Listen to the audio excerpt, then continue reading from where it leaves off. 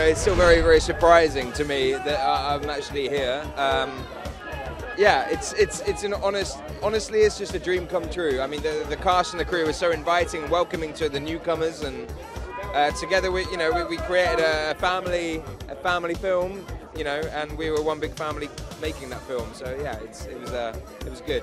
It was Jennifer and Josh mainly. Um, How was it so- working with Jennifer? Well, the dynamic between those two is something that you can never, it's unbeatable, really. And uh, definitely, for me, entering into that w- was definitely intimidating, I'd say. Uh, it's the best word to describe it, really. Um, but no, I mean, they, they, was, they were so accepting of my Englishness. Uh, and the three of us got on like a house on fire, you know, we were the three musketeers.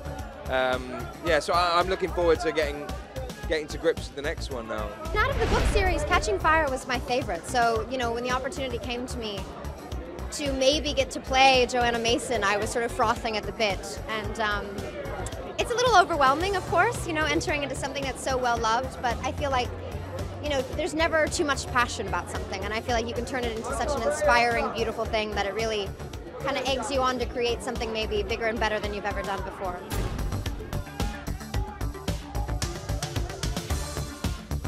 There's a lot of things that were kind of unfamiliar to me, kind of going back into it. She's, you know, she has post-traumatic stress and she's gone through a lot of changes. So it was actually kind of the opposite. I was kind of trying to get to know her again in a different place. Anxiety, yeah, I, I well, I, I don't know. I, I think I, I probably just had a lot of feelings growing up, and, and I, this, doing this probably has a certain outlet for a lot of that. But the rest of it's just me. I think I'm just wired wrong. Do you ever forget that you're an Oscar winner? all the time. I, yeah, constantly.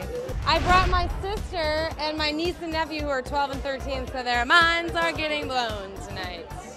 Obviously, your fashion sense is very different than Effie's. If you could take, if you could take something from her wardrobe, what would it be? Oh, geez. Um, you know, I love all of her accessories. She has some really incredible jewelry, Effie does. Yeah, pretty cool stuff. It's all about the passion of these fans. I've never experienced anything like it, you know. I remember being young and, and being crazy for things, and like, I just love, you know, I love uh, giving the fans great movies that they deserve.